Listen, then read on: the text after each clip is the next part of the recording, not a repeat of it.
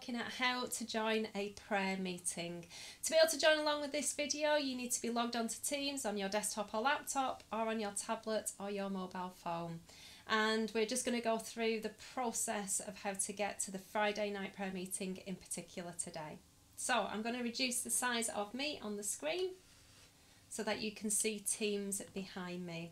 So I'm already logged onto Teams. It comes up with the Hebron Pentecostal General channel and I can see just some of the messages from this week. But to get to the prayer meeting, the one that I really need is over here. It is the Hebron Prayer House. So I'm just going to click on that one initially.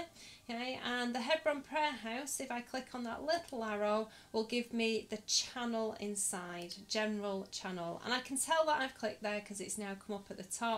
And I can see all of the messages related to the prayer meetings that are going on.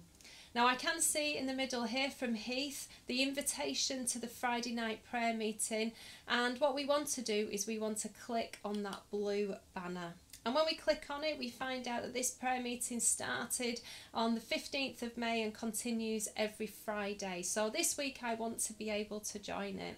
So what I need to do is on Friday at 8 o'clock, I need to go through that process to get to this particular screen.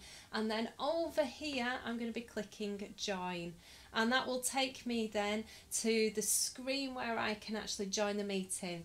And then more importantly, it will then put that prayer meeting on your The calendar is over here on this side. It will put it on your calendar every Friday evening because you visited that particular prayer meeting once before. It may be an option for you to join again. So that's how you join a prayer meeting.